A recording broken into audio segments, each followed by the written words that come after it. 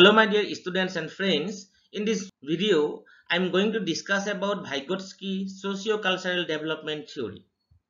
ছাত্ৰ ছাত্ৰী আৰু বন্ধু বান্ধৱীসকল আজি আমি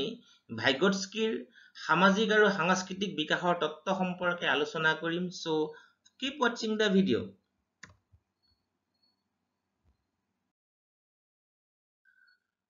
Concept of the theory Vygotsky theory of socio-cultural development is related to both cognitive and social development. যে ভাইগটস্কিৰ যি সামাজিক আৰু সাংস্কৃতিক বিকাশৰ তত্ত্ব এই তত্ত্বই এটা শিশুৰ সংজ্ঞানাত্মক আৰু সামাজিক বিকাশৰ দিশটোৰ সৈতে সম্বন্ধিত after that he believe that children's thinking is largely affected by their knowledge of the social community যে ভাগ্যশ্ৰীয়ে কৈছিলে যে কি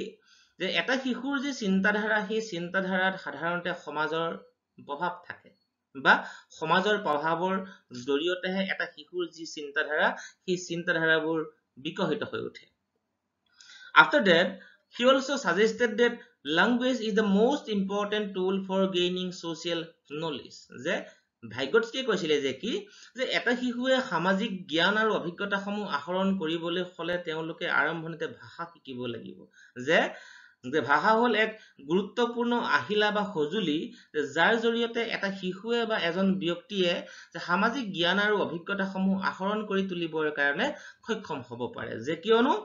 যে ভাষাৰ জৰিয়তে এটা শিশুৱেই হওক বা এজন ব্যক্তিয়েই হওক যে ফিলিংছ ইম'চনছ এক্সপিৰিয়েঞ্চেছবোৰ একুৱেৰ কৰাৰ উপৰিও যে শ্বেয়াৰ কৰি তোলাত বিশেষকৈ ভাষাই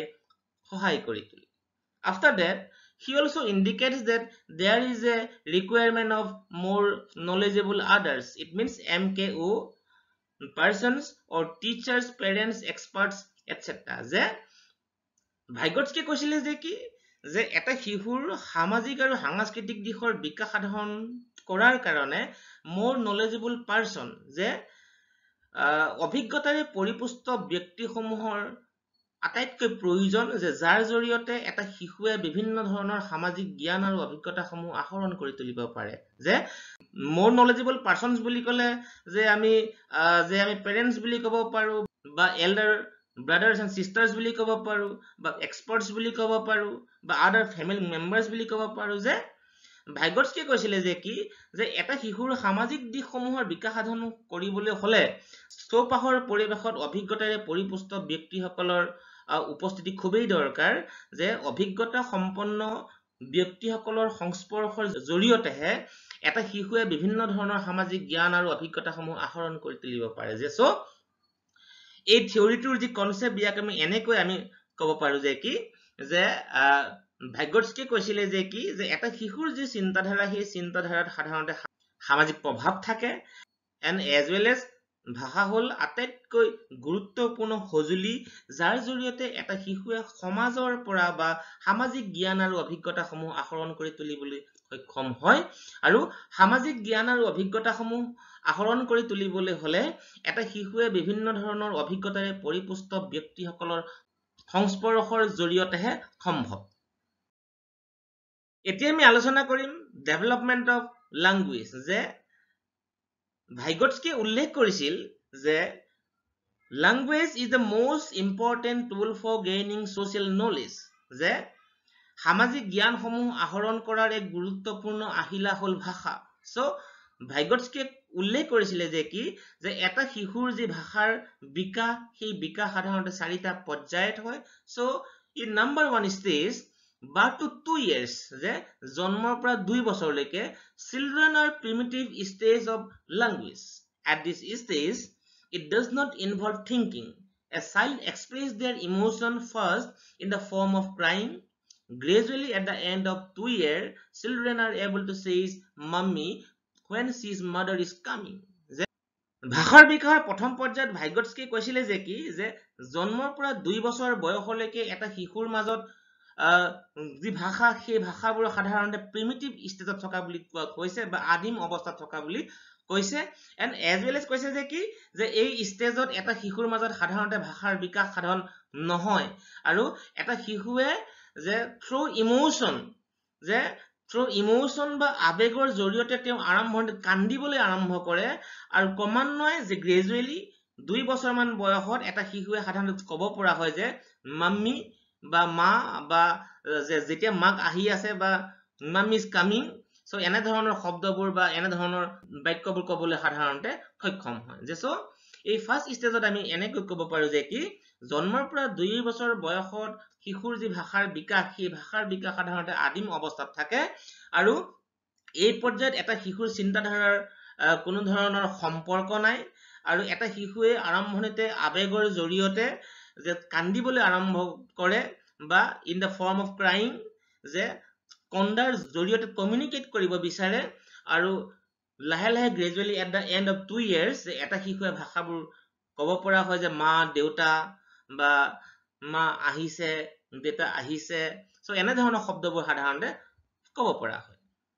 In the second stage of language development the children show' remarkable increase in vocabulary they can name many names and can utter short sentence ভাষাৰ দ্বিতীয় পৰ্যায়ত এটা শিশুৰ মাজত ভকেবুলাৰী ষ্টকছবোৰ যে যথেষ্ট পৰিমাণেৰে ইনক্ৰিজ হয় আৰু যাৰ ফলস্বৰূপে যে বিভিন্ন ধৰণৰ নামবোৰ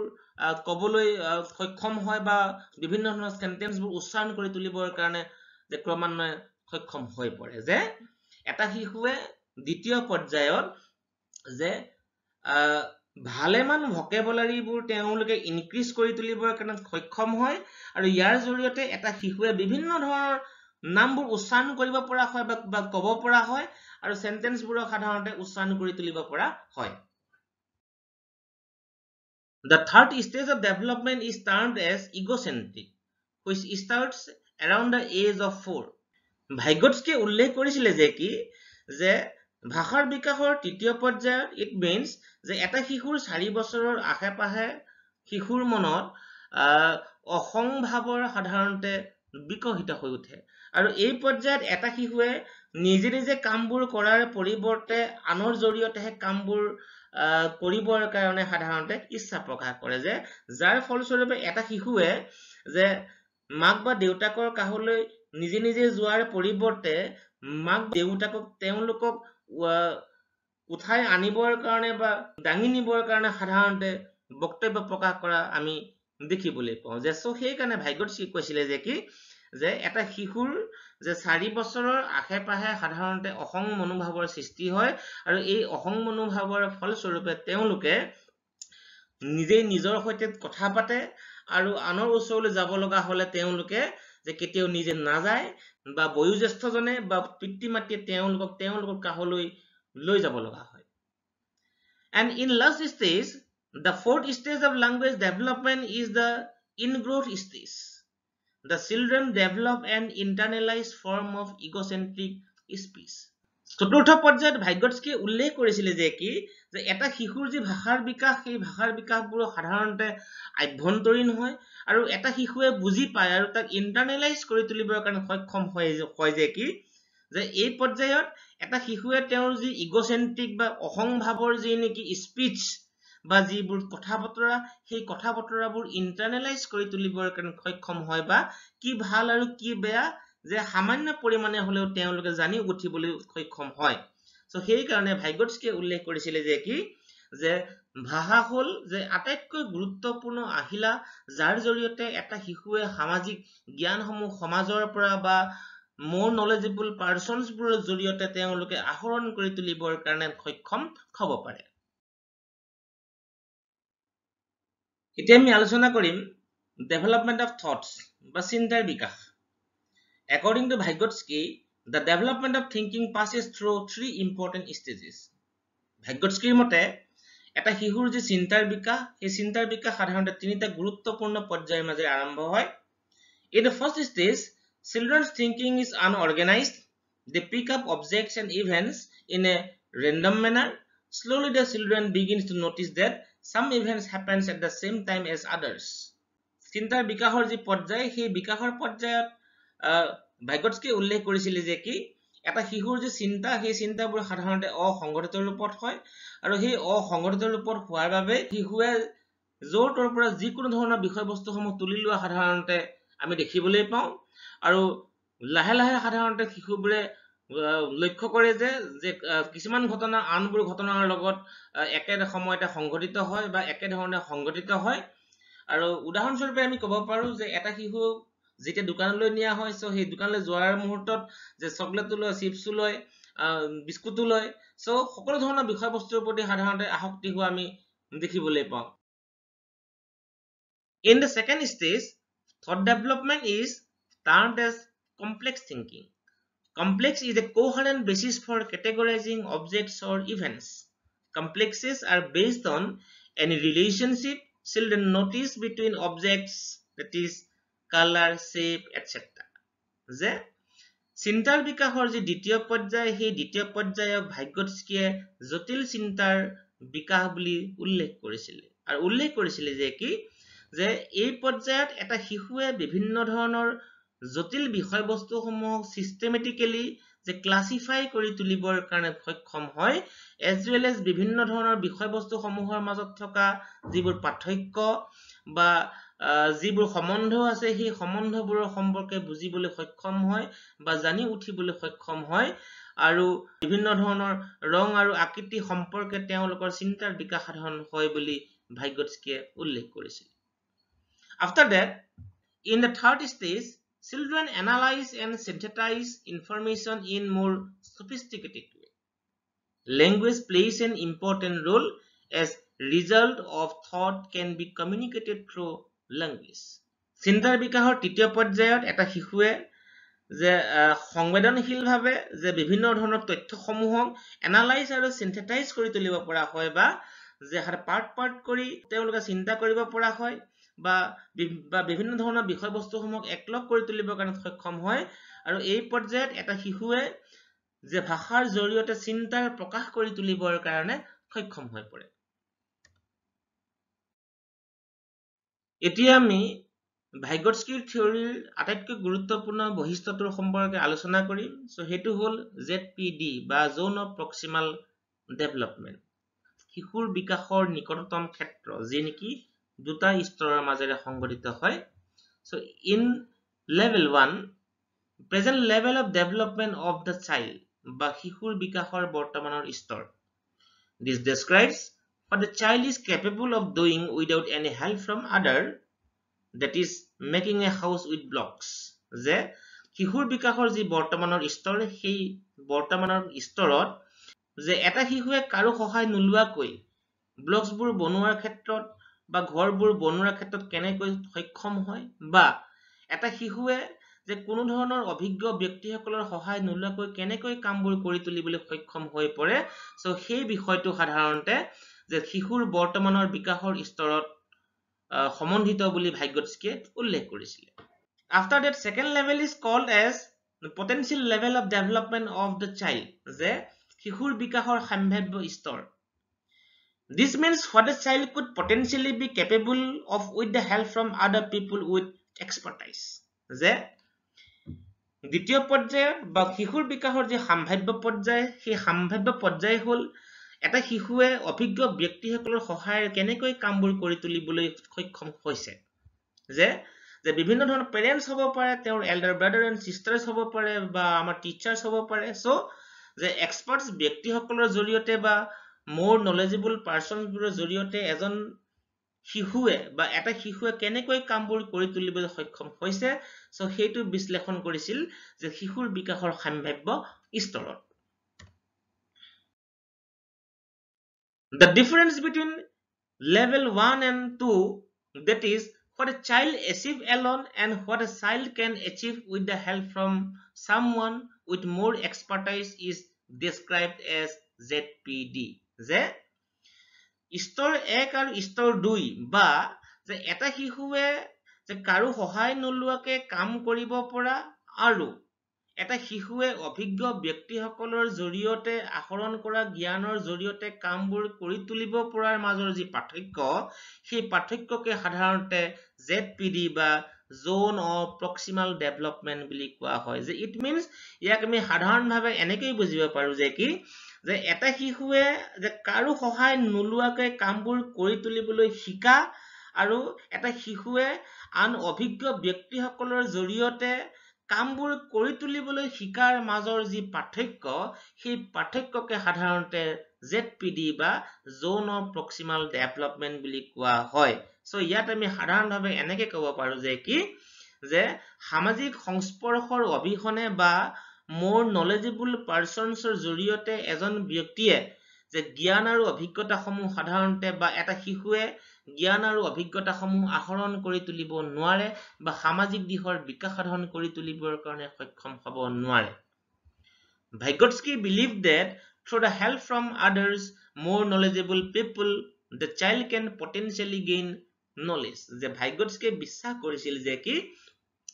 মোৰ নলেজেবল পাৰ্চনছ বা এক্সপাৰ্টছ বা অভিজ্ঞ ব্যক্তিসকলৰ জৰিয়তে যে এটা শিশুৰ যিবোৰ সাম্ভাৱ্য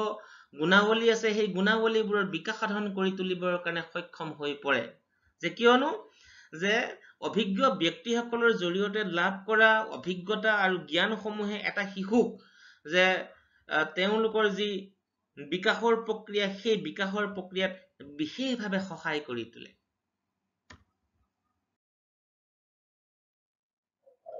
একেবাৰে শেষত স্কেফল্ডিং। বা সাপোর্ট বা framework